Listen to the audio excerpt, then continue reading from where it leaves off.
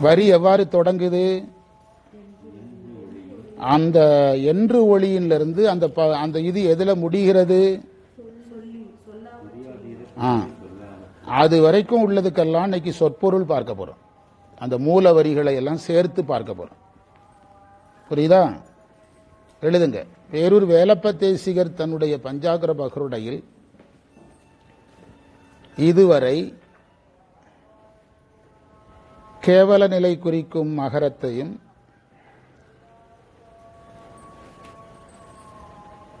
சகல நிலை குறிக்கும் நகரத்தையும் சொல்லி சகல நிலை குறிக்கும் நகரத்தையும் சொல்லி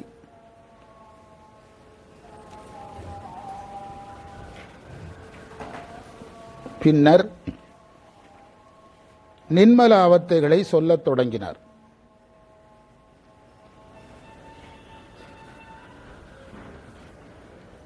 அதில் நின்மல சாக்கிரம் என்பது நின்மல சாக்கிரம் பிராக்கெட்டில் என்னதெல்லாம்? ஒரு மூணு வருஷத்துக்கு தொடர்ந்து சொல்லணும். என்னதெல்லாம்? தத்துவரூபம் தத்துவ தரிசனம் தத்துவ சுத்தி ஆன்ம ரூபம் ஒரு மூணு வருஷத்துக்கு தொடர்ந்து சொல்லணும். இதை பழகுனா போதும்னே சொல்கிறோம் நாம். தத்துவரூபம் தத்துவ தரிசனம் தத்துவ சுத்தி ஆன்ம ரூபத்தை அடைகிறது. அந்த நின்மல சாக்கிரத்துக்கு ஒன்னா நம்பர் போட்டுக்கிடுங்க. இந்த நிலையில் உயிர் நானே அறிவுடையவன் என்று முனைப்பு கொள்கிறது.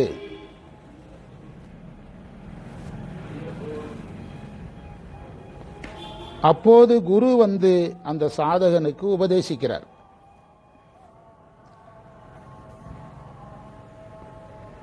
உனக்கு அறிவு என்பது உன்னுள் உன்னால் நிகழவில்லை.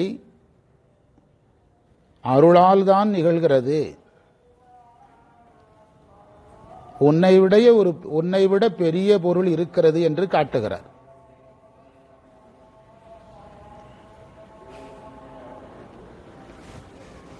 அப்போது என்று காட்டுகிறார். அப்போது அவனுக்கு அருளை பொதுவாக காட்டுகிறார். அப்ப என்ன நடக்குது? நின்மல ஆ, நின்மல சொப்பனம் நிகழ் கரெக்ட் தானா? நின்மல சொப்பனம் நிகழ்கிறது. நின்மல சொப்பனம் நிகழ்கிறது. அதன் பின்பு ஆன்மா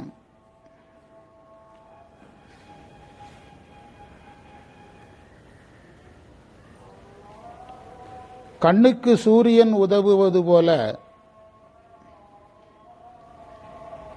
அருள் எனக்கு உதவுகிறது.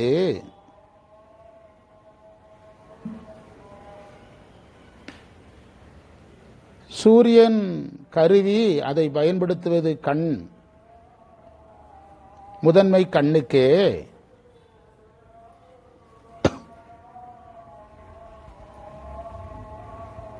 அருள் கருவி அதை பயன்படுத்துவது நான் முதன்மை எனக்கே என்று தனக்கு முதன்மை தேடுகிறது.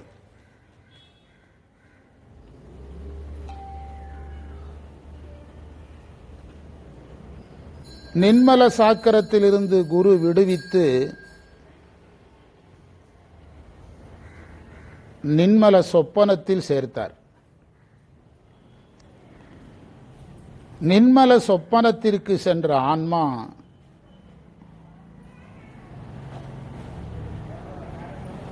தொழிலதிபர் நஷ்டத்தில் விழுற மாதிரி இந்த சிந்தனையால் வீழ்ச்சி அடைகிறது. அப்போது நிகழ்வதுதான் என்னது? நின்மல சுளுத்தி. நின்மல உறக்கம். அதன் பின்பு குரு அந்த ஆன்மாவுக்கு உபதேசம் செய்து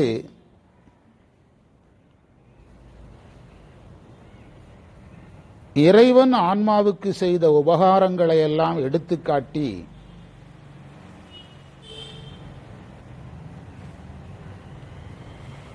யாவருக்கும் மேலானவன் இறைவன் யாவர்க்கும் கீழானவன் நீ என்று உபதேசித்து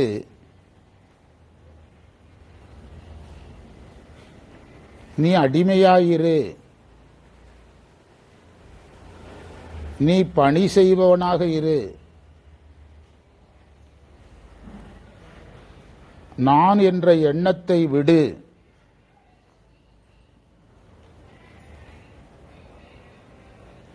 இறைவன் இருப்பு மட்டுமே போதும். உன் இருப்பை விட்டுவிடு மறந்து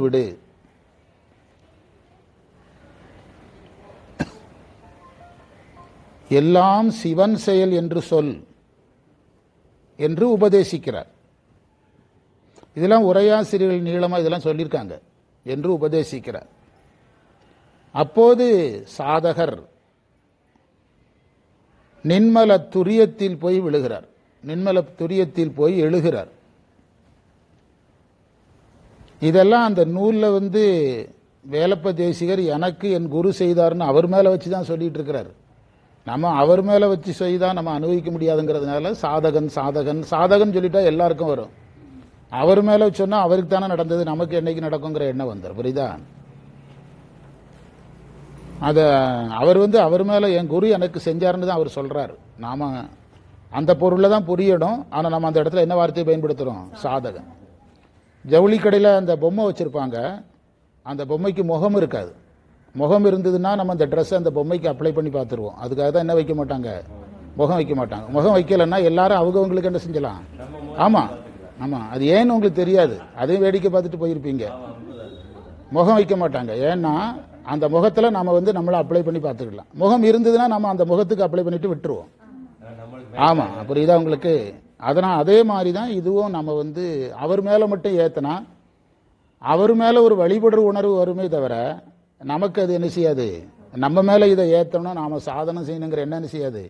அதனால தான் சாதகன் சாதகன் சொல்கிறோம் அவரும் அதில் தன்னை யாராக தான் காட்டுறாரு?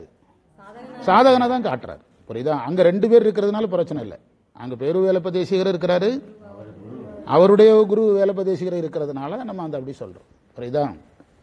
அதனால் அதற்கு பிறகு அவர் அந்த சாதகனை நின்மல துரியத்தில் செலுத்துகிறார். அப்போது என்ன நடக்குது? ஆன்ம சுத்தி நிகழ்கிறது. பிராக்கெட்ல என்ன இதெல்லாம் எழுதணும்? சிவ தரிசனமும் சிவ யோகமும் நடக்கிறது. அந்த குரு என்னெல்லாம் அட்வைஸ் பண்றாரோ அதுதான் சிவ தரிசனம் சிவயோகம் அந்த குரு குரு சொன்ன அந்த உபதேசங்கள்னு கொஞ்சம் எழுதுனீங்கல்ல? நீ அடிமை நீ வேலை செய்யணும். அதெல்லாம் அந்த ரெண்டுல வந்துடும் சிவயோகம் சிவ தரிசனத்துக்கு என்ன விளக்கம்னு கேட்டால் அதுதான் விளக்கம். புரியுதா? அப்போது ஆன்மா சுத்தி அடைகிறது. ஆன்மா சுத்தி அடைஞ்சிட்டு இனிமேல் என்ன கிடையாது? எந்த விதமான விபத்தும் இல்லை அப்படின்னு குரு போக முடியாது. குருவினுடைய வேலை வந்து வேலை தூலத்திலிருந்து சூக்குமமாக போகுதே தவிர வேலை முடிவுக்கு வரல. இன்னும் வேலை இருக்குது. புரியுதா? இன்னும் வேலை இருக்கிறது. அது என்னதுங்கிறது தான் இன்றைய பாடமாக நம்ம நிறைவு செய்ய போகிறோம் என்ன ஒரே ஒரு வேலை யாருக்கு இருக்குது? குருவுக்கு இருக்குது. அப்போ என்ன தெரியுதுன்னா எல்லா அவத்திலையும் யார் நிற்கிறா? குரு நிற்கிறார். அதைத்தான் பார்க்கிறோம். இந்த அவத்தை எதுவுமே நமக்கு கிடையாது மறந்துடக்கூடாது. நாம் இதில் ஒரு அவத்தைக்கும் வர முடியாது. ஏன் வர முடியாது? நின்மலம்னா என்ன?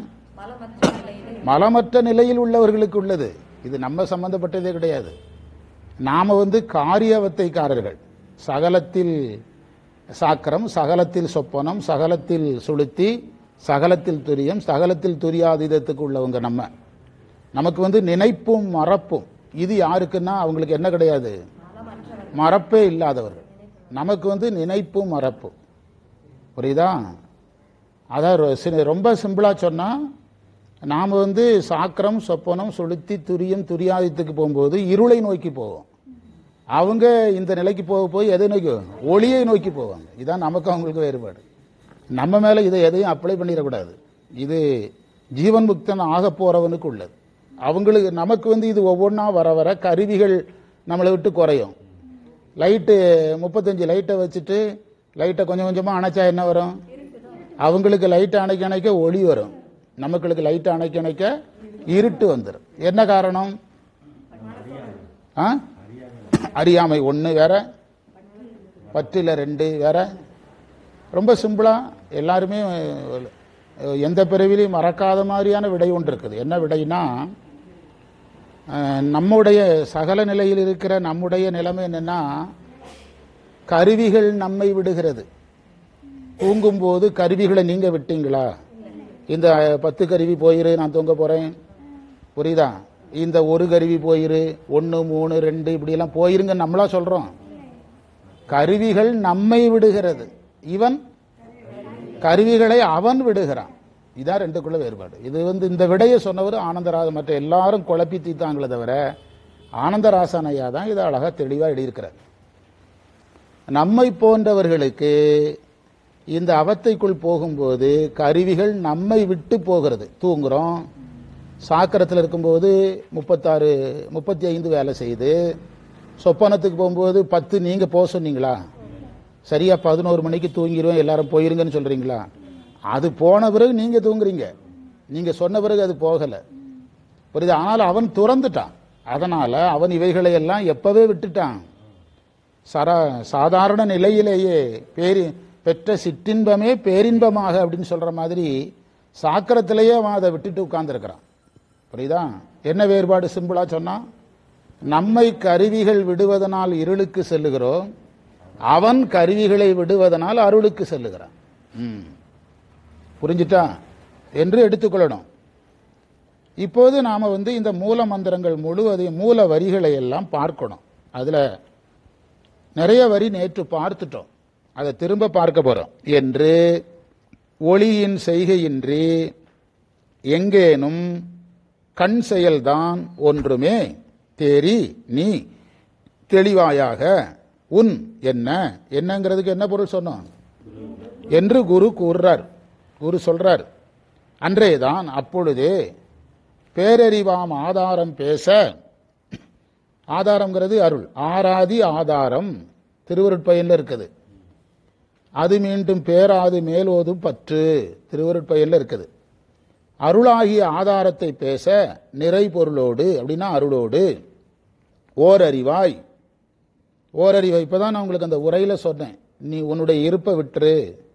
யார் இருப்பு மட்டும் போதும்? ஏகனாகி இறைவனி நிற்கணும். நீ இருக்கிறத நீ உணராத இறைவன் இருக்கிறது மட்டும் உணரு. அதான் ஓரறிவாய். அடுத்த வார்த்தை என்னது? தான் ஒளிதல். நீ அங்கே இருக்கவே கூடாது. யார் இருந்தால் போதும்? உன்னுடைய இருப்பு தெரியக்கூடாது. நீ இல்லாமல் போக முடியாது சித்தாந்தப்படி. உன் இருப்பு என்ன செய்யக்கூடாது? தெரியக்கூடாது என்று ஒன்துரியம். அதான் துரிய நிலை. இவ்வாறு குரு உபதேசிக்கும் போது துரிய நிலை வருகிறது. ஒன்துரியம்னு ஏன் சொன்னாருன்னா அதுதான் முக்கியம். அவங்க ஒளிக்குள்ளே போவான்னு சொன்னேன். நாம நமக்கும் இது உண்டு. நம்மளுக்கு வந்து என்னது? இந்த சகலத்தில் துரியம் நமக்கு உண்டு. நமக்கு ஒன்துரியம்லாம் கிடையாது. துரியம். துரியம்னா நம்ம எதில் போய் விழுவோம்? இருளில் போய் விழுவோம். புரியுதா? இருளில் விழுவோம். ஒன்துரியம் பார். பார்னு சொன்னது யாரு? குரு. என்று என்னுடைய குரு என்கிட்ட சொன்னாரு. அதைத்தான் அந்த இடத்துல நம்ம வந்து சாதகம் சாதகன்னு சொல்லிகிட்டே இருக்கோம். இனி வர்ற பகுதி தான் புதிய பாடம். அது வரைக்கும் நேற்று பார்த்தாச்சு. அதை அப்படியே பாருங்க. ஒன்துரியம் பாருன்னு சொன்னாரு. அடுத்தது பார் என்று ஒளி இப்போதான் துரியாதீதம் பேச போறாரு. துரியாதீதம் இப்ப பேச போறாரு. அதுக்கு வந்து நீங்க கொஞ்சம் முன்னுரை எழுதணும். புரியுதா? சாதகனை குரு நின்மலத்தில் நான்காம் அவத்தைக்கு கொண்டு வந்து சேர்த்தார்.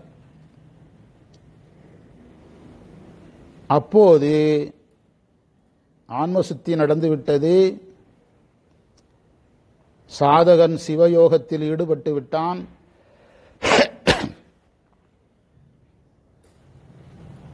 சிவ தரிசனமும் நிகழ்ந்து விட்டது. ஆனால் ஆகமப்படி சைவ சித்தாந்தத்தின்படி திருமுறையின்படி படினா சொல்லியவாறுன்னு அர்த்தம். திருமுறையின்படி இன்னும் பயன் முழுமையாக அடையப்படவில்லை. பாருங்க எவ்வளவு பெரிய கொடுமை. எங்க வந்தோம்? சிவ தரிசனமே நடந்தாச்சு. சிவ யோகம் நடந்தாச்சு. ஆன்மா பியூரிஃபை ஆயாச்சு. ஆனாலும் என்ன முடியல? பயனியல் இன்னும் உற்று பெறவில்லை எவ்வாறு என்றால் இங்கு சாதகனுக்கு நிகழ்ந்தது எது போன்றது என்றால் புரியுதா சூரிய ஒளியை பார்ப்பது போன்றது. சூரிய ஒளியை பார்ப்பவனுக்கு இன்னொரு வேலை இன்னும் ஒரே ஒரு வேலை இருக்கிறது. என்னது? சூரிய ஒளியை கொண்டு எதை பார்க்கணும்? சூரியனையே பார்க்கணும். இப்போ புரியுதா உங்களுக்கு? தசகாரியம்னா என்னன்னு? எது ஆன்ம லாபம் கிடையாது. துரியம் வந்து ஆன்ம லாபம் கிடையாது. ஆன்ம லாபத்துக்கான படிநிலை தான் ஆன்ம லாபத்தை தருகின்ற ஒரு சாதனம்தான். துரியம் என்பது சூரிய ஒளியை பார்ப்பது போன்றது. சாதகன் சூரிய ஒளி கொண்டு இனி சூரியனை பார்க்க வேண்டும். அதுபோல அருள் ஒளியாகிய சிவ பேரொளியை சாதகன் துரியத்தில் பார்க்கிறான். அந்த சாதகன்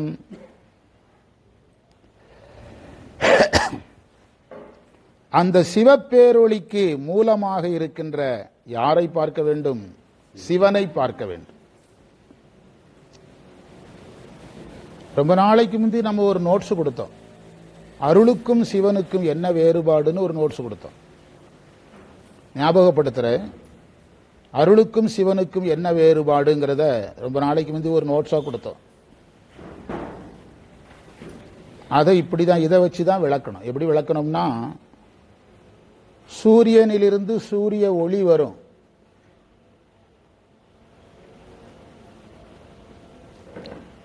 சூரிய ஒளியிலிருந்து என்ன வராது? சூரியன் வராது. புரியுதா? அப்போ முதல் எது? அதே மாதிரி தான் சிவனிலிருந்து அருள் ஒளி வரும். அருள் ஒளியிலிருந்து எது வராது? சிவன் வராது. இது வராதுங்கிறத விட இப்படி ஒரு நுட்பமான செய்தி இருக்கு. புரியுதா? தெரிஞ்சுக்கணும். லாஜிக்காக கரெக்டாக தான் இருக்குது. சூரிய ஒளியிலிருந்து சூரியன் வராதில்ல. ஆ. புரியுதா? இதனை குரு உபதேசிக்கிறார். இதையெல்லாம் ஒரே நேரத்தில் உபதேசிச்சிட வேண்டியதான அப்படின்னு சொன்னால் அது சைவ சித்தாந்த உபதேச முறைக்கு மாறானது. சைவ சித்தாந்த உபதேசத்தில் எது ரொம்ப அவசியம்னா படி படிநிலைகள் முக்கியம். மட்டாய் மலராய் அப்படின்னு இதில் தாயுமானவர் சொன்னதும் இருக்குது. நான் சொல்கிறது உமாபதி சிவம். உமாபதி சிவத்துடைய போற்றி பகருடைய நெஞ்சு உடைத்ததுல ஏதோ ஒரு இடத்துல மட்டாய் மலரான்னு வரும். அதாவது மொட்டு தான் எதா மாற முடியும்? மலரா மாறும். திடீர்னு மொட்டு அன்னைக்கே மலரான்னு செய்ய முடியாது.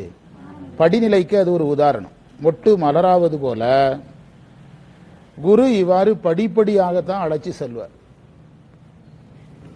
அவர் அந்த நிர்மல சாக்கரை வரும்போதே உனக்கு இந்த இந்த ஆக்சிடென்ட்லாம் நடக்குங்கிறது அட்வான்ஸாக சொல்ல முடியாது. சொன்னால் அவன் வாங்கவும் மாட்டான். வாங்கவும் மாட்டான். புரியுதா? உங்களுக்கு உடுமலைப்பட்டிருந்து பஸ் பெறப்படும் போதே மடத்துக்குளம் திரும்புகிற இடத்துல ஆக்சிடென்ட் நடக்கிற இடம் ஒன்று இருக்குது ஞாபகம் வச்சுடுங்க அதுக்கு பிறகு மடத்துக்குளத்துலேருந்து வெளியே போன ஒரு பத்து கிலோமீட்டர் கழிச்சு இன்னொன்று ஒரு ஞாபகம் வச்சுடுங்க சொல்ல முடியுமா? அவன் தான் போய் பார்க்கணும். அவங்க பானை பார்த்த பிறகு கவனமாக ஓட்டலைன்னா என்ன சொல்லுவார் வந்து? ஆ அதுக்கு பிறகு வந்து போலீஸ் வந்து இந்த இடம் ஆக்சிடென்ட் நடக்கிற இடம் தம்பி கவனமாக பார்த்து போகணும்னு அதுக்கு பிறகு சொல்லுவார். அங்கே இதெல்லாம் எச்சரிக்கை வச்சுருப்பாங்க. அதை எப்போ சொல்ல முடியாது.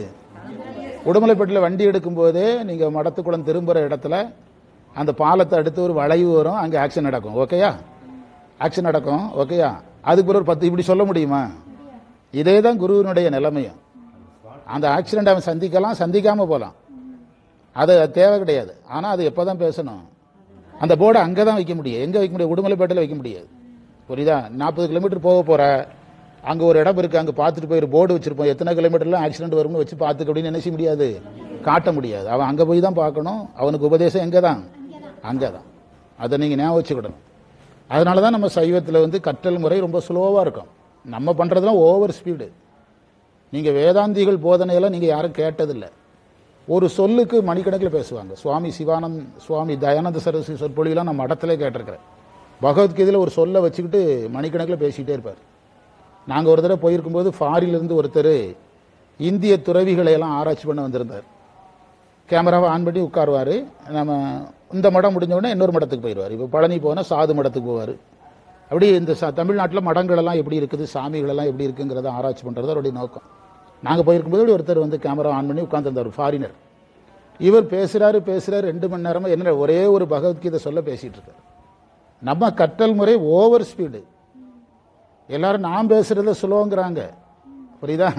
சைவத்திலே ரொம்ப சுலோவாக பேசுகிறது நாங்கிறாங்க. ஆக்சுவலாக நான் தான் ரொம்ப ஸ்பீடாக பேசிகிட்டு இருக்கிறேன் அப்போ மற்றவங்க பேசுகிறதுலாம் ஓவர் ஸ்பீடு ஸ்பீடு இல்லை ஓ ஆக்சிடென்ட் ஸ்பீடு அதனால தான் நம்ம எந்த அனுபவத்தையும் கொண்டு வர முடியல. எங்கேயுமே கொண்டு வர முடியல. ஏற்கனவே வேலை செய்தவங்களை எல்லாம் நீங்கள் லிஸ்ட் எடுத்து பார்த்தீங்கன்னா கற்றிருக்கிறார்கள் பேசி இருக்கிறார்கள் எல்லாம் நடந்திருக்குது.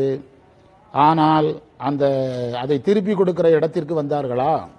திருப்பி கொடுக்கிற அனுபவம் வந்ததா? என்று பார்த்தால் ரிசல்ட் ரொம்ப மோசமாக இருக்கு.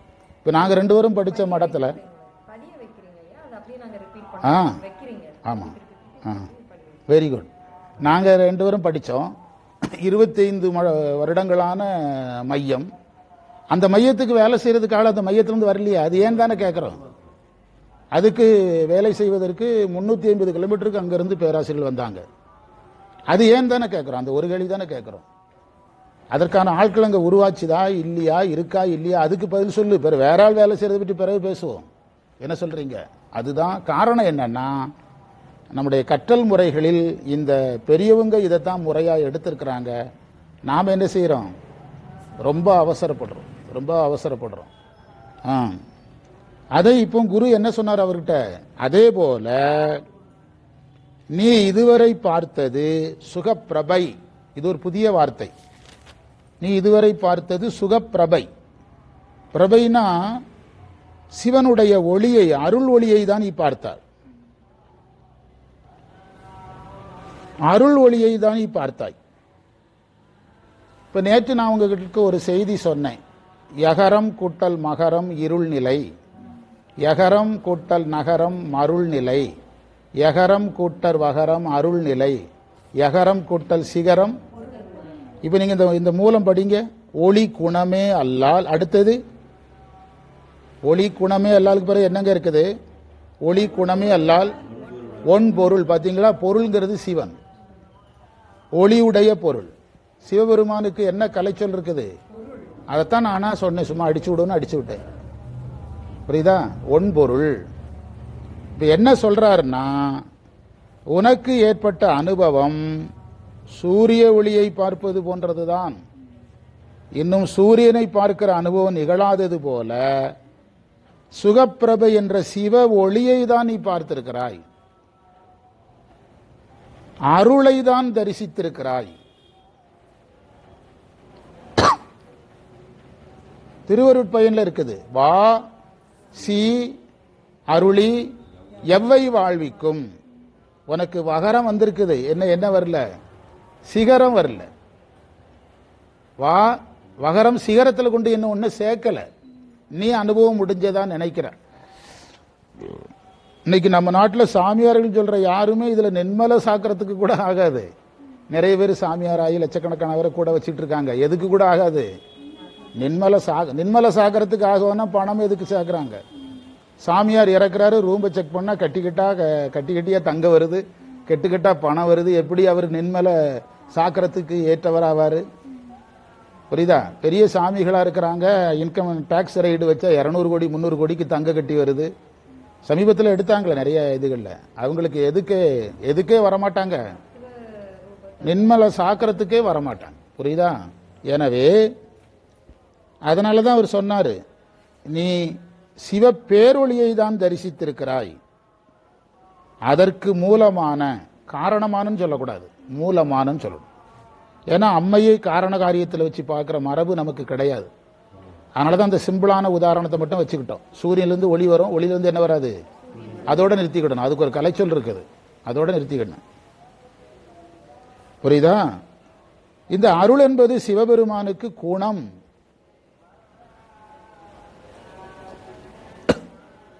பிராக்கெட்ல சூரிய ஒளி சூரியனுக்கு குணம். சூரியன் பொருள்.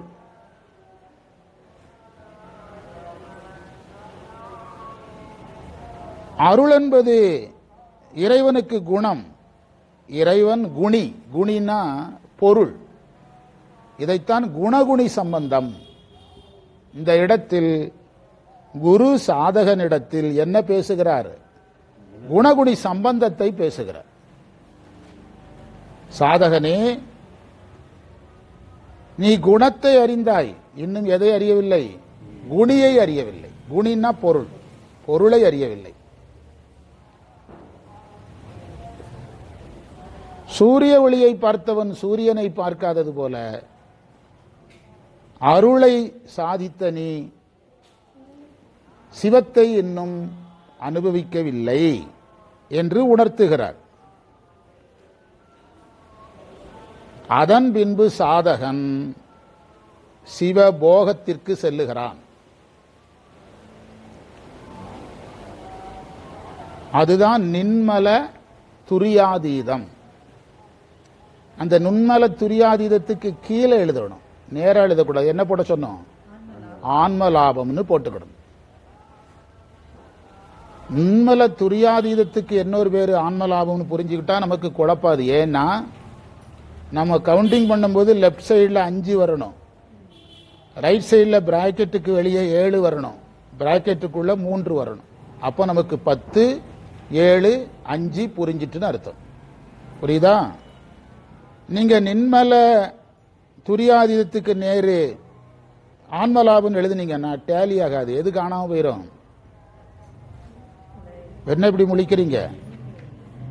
நின்ம என்னது?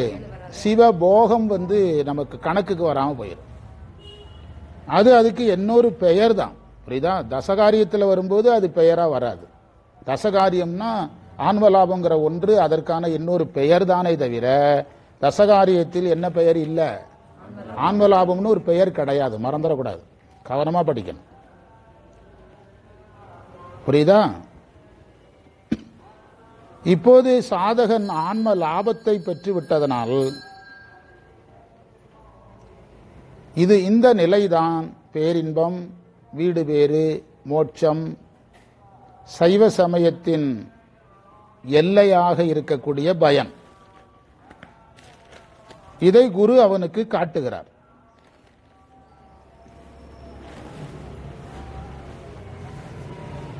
இங்கு இதையெல்லாம் பேசிய பேரூர் வேலப்பதேசிகர் மகரம் என்ற எழுத்தை தனியாக எடுத்து பேசினார்.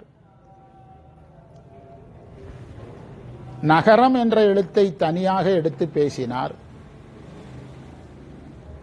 அதன் பின்பு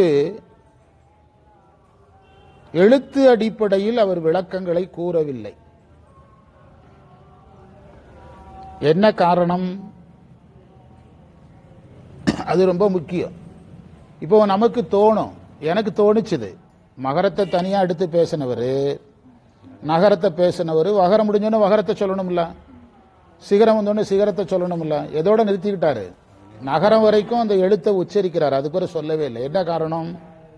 என்றால் அதற்கான காரணம் ஏற்கனவே பேசப்பட்டு விட்டது. வழக்கம் போல் நீங்க மறந்துட்டீங்க. எழுதிடுங்க. அதற்கான காரணம் என்னவென்றால் சைவ சமயங்களில் சபை சைவ சமயத்தில் நிற்கும் முறையை தான் வெளிப்படையாக பேச வேண்டும். ஏற்கனவே சொல்லியாச்சு. வழக்கம் போல மறந்தாச்சு. நிற்கும் முறையை தான் வெளிப்படையாக பேச வேண்டும்.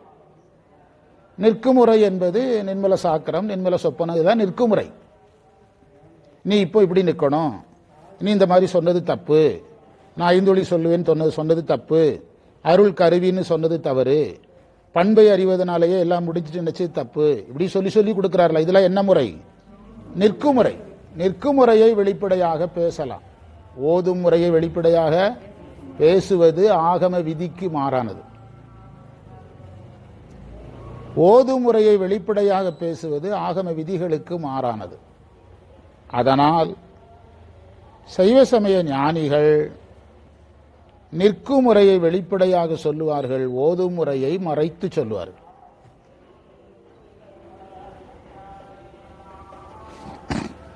ஓதும் முறையை யார்தான் சொல்லுவது என்று கேட்டால் அது குரு சீடனுக்கு இடையில் ரகசியமாக நடப்பது நடக்க வேண்டியது.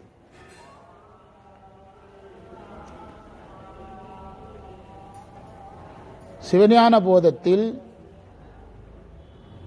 ஒன்பதாம் நூற்பாவிற்கு சென்று விதி என்னும் அஞ்செழுத்தே என்ற தொடருக்கு என்ன பொருள் சொல்லப்படுகிறது? என்று நாம் ஆய்வு செய்தால் உரையாசிரியர்கள் பிண்டமாக அப்படின்னா பொதுவாக அர்த்தம்?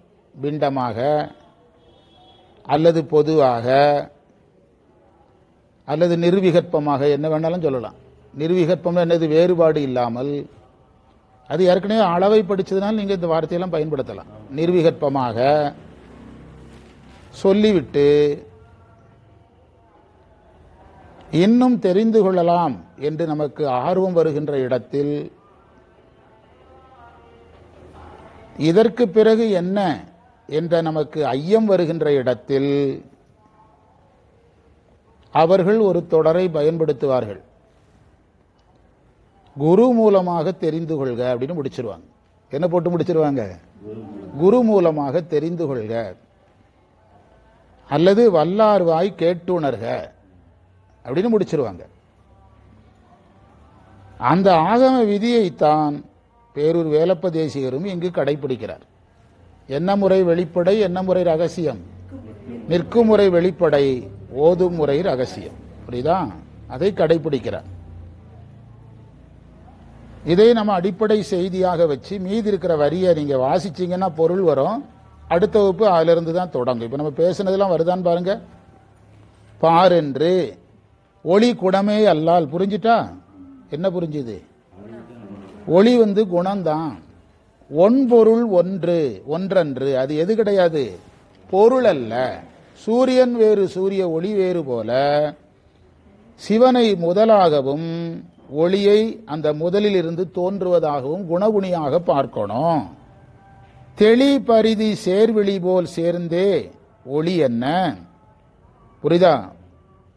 ஒளி உடைய கண்ணு வந்து சூரியனை போய் சேர்ற மாதிரி கண்ணு ஒளி சூரியன். எத்தனை பொருள்? கண்ணு ஒளியை பிடிக்கணும் ஒளி சூரியன்ல சேரணும்.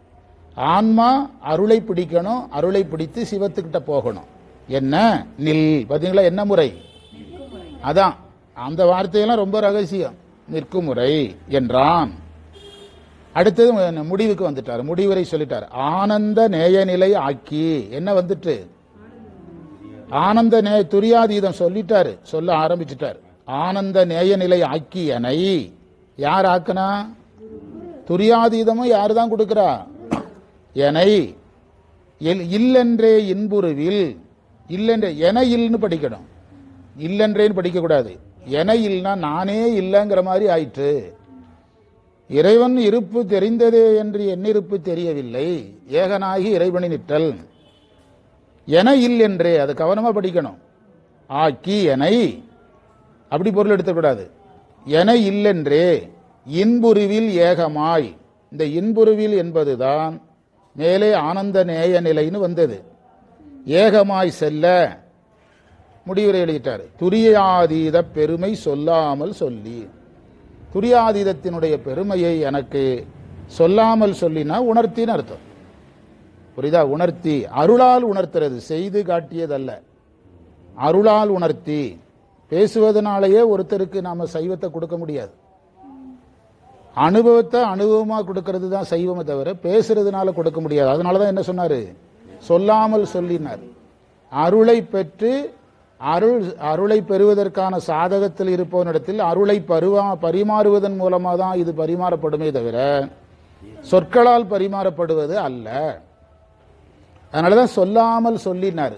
திருவிளையாடல் புராணத்திலேயும் இந்த வார்த்தை இருக்கு. சொல்லாமல் சொல்லி நினையாமல் நினைந்துன்னு இருக்கு என்று இதில் துரியாதீத நிலையை நாம் வந்து இந்த இடத்துல பார்க்குறோம். புரியுதா? இனி வருகின்ற பகுதிகளில் இந்த பத்து ஏழு அஞ்சை கரும்பா சொல்லுவார். கரும்பா சொல்லிட்டு நூலை நிறைவு பண்ணிடுவார். ஒரு கரும்பு பத்து முளத்தில் இருந்தது அப்படின்னு ஆரம்பிப்பார்.